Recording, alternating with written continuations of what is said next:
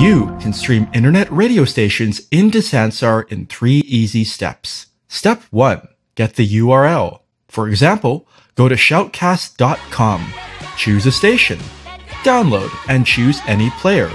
Open the saved file with a text editor and look for the URL. Select it and copy. Step 2. Set up the stream.